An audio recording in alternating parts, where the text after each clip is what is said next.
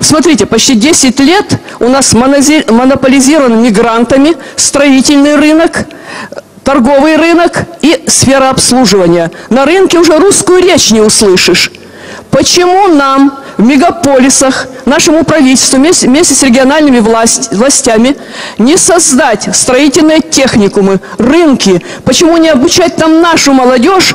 Пусть она себе построит жилье и нам том числе. Для этого нужна только воля и такая программа необходима.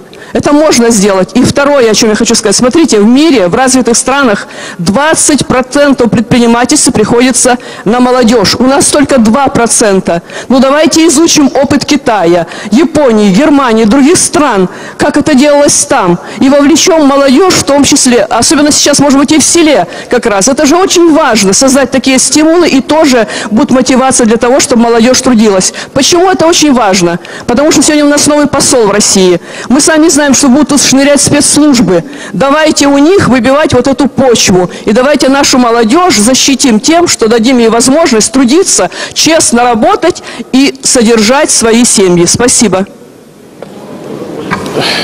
По поводу того, чтобы изучать опыт и принимать э, опыт других стран, в том числе в работе с молодежью, э, ну, конечно, мы, безусловно, должны делать это и будем изучать опыт, но там очень много негативного опыта.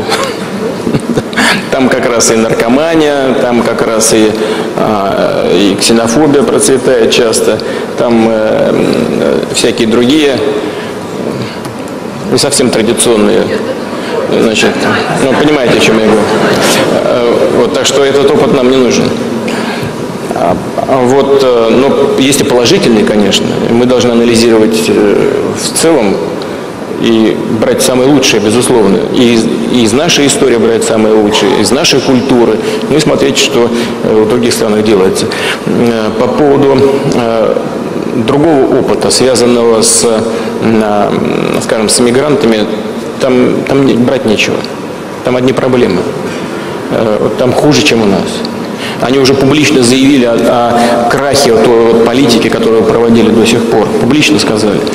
Для, для э, западного истеблишмента это вообще уни- уникальная вещь. Никто не, не мог поверить, что э, лет пять кто-нибудь на, отважится сказать такие вещи. Но теперь не только говорят, но и пытаются что-то делать. А, и все получается очень неуклюже.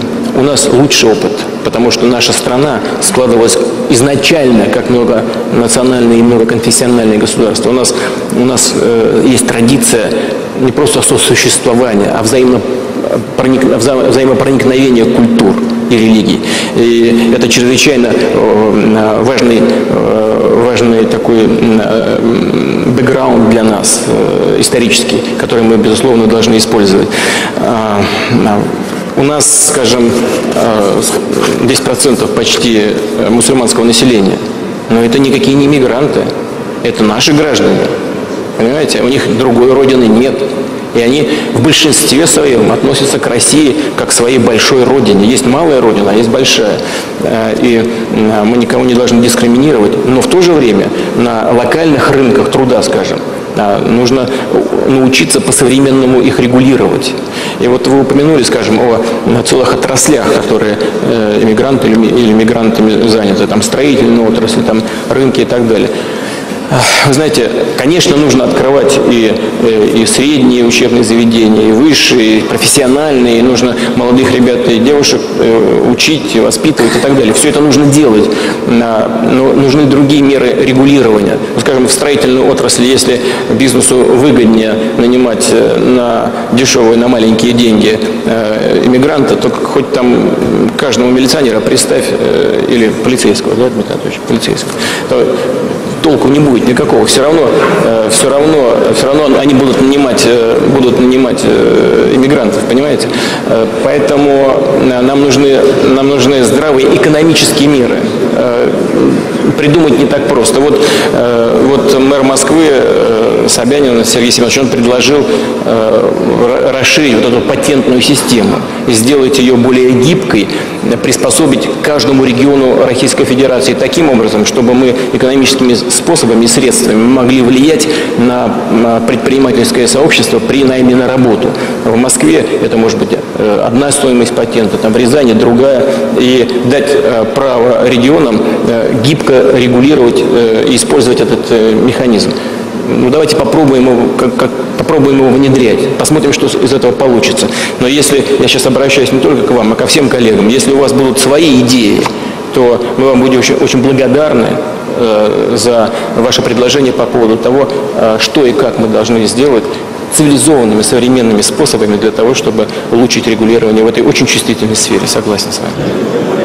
Э, уважаемые коллеги, я вас хочу поблагодарить еще раз и за совместную работу э, в первом полугодии, и за сегодняшнюю нашу встречу. Мне очень хотелось, чтобы мы действительно э, в такой неформальной обстановке собрались именно здесь, в Крыму. Ваши коллеги из парламента Крыма и из законодательного собрания Севастополя, они приезжали в Москву вот в те судьбоносные, как я уже говорил, дни, они были. Но я не думаю, что многие тоже уже побывали здесь, в Крыму, но, наверное, не все. Мне очень хотелось, чтобы вы все сюда приехали, походили, с людьми пообщались, э, почувствовали атмосферу, подышали этим воздухом, э, посмотрели на, на, э, на Крым, на Севастополь. Потому что, знаете, когда все своими ушами услышишь и глазами своими увидишь, когда напрямую с людьми пообщаешься, тогда все становится более понятным, более свежим, более живым. И от этого, э, надеюсь, э, э, от этого живого восприятия этих субъектов федерации нам с вами у нас с вами будет возможность ну, точнее реагировать на все происходящие проблемы, на все проблемы, которые здесь накопились, более выверенные решения применять по, по, по разрешению этих проблем и транспортных, энергетических, там, водных, каких угодно. А, и э, еще одно соображение, которое не могу не сказать в связи с Крымом. Здесь уже звучало, и у людей э, вопрос иногда звучит, что вот дорого, ну как вот в России на это смотрят. Вы знаете, Крым, Севастополь – это часть России. И поэтому развивать, развивать нашу страну в любой ее части – это абсолютно нормальная вещь. Это делается, конечно, это, конечно, делается и для граждан, которые здесь проживают, но это в то же время делается для всей страны.